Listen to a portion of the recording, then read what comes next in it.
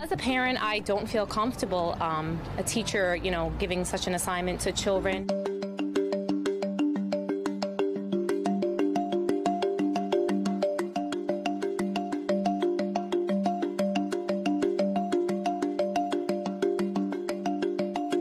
I wouldn't want a, a fifth grade to have to make that choice.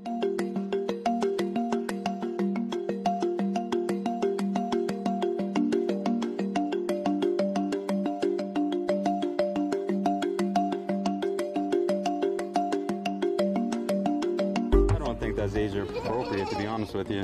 Um, I think they need to focus on other things besides that.